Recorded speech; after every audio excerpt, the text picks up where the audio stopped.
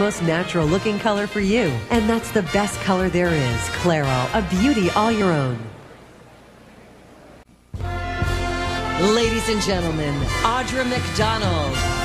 The youthful Miss McDonald is already a three-time Tony Award winner.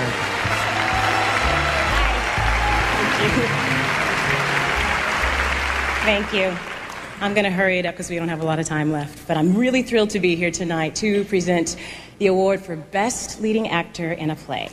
The five nominees are Sean Campion for Stones in His Pockets, Richard Easton for The Invention of Love, Conleth Hill for Stones in His Pockets, Brian Stokes Mitchell for King Hedley II, and Gary Sinise for One Flew Over the Cuckoo's Nest.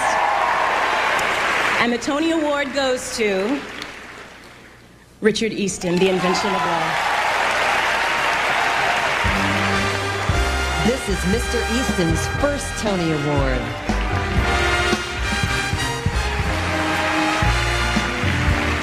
Thank you so much. This is tremendous. I salute Tom Stoppard, Jack O'Brien, and Lincoln Center. They're very grand people to work for, Lincoln Center, Bernie and, and Andre. And wonderful company of actors and stage managers. As is usual with the Jack O'Brien production, we had a great many laughs during this production. It was really quite wonderful. And the beautiful old Lyceum, which encloses us, its uh, particularly friendly staff and crew, who have made life a really great joy. And also in that theatre is the benevolent presence of Ellis Rabb, looking after us all with a blessing on our endeavours. Thanks to all the above, and to you, thank you so much.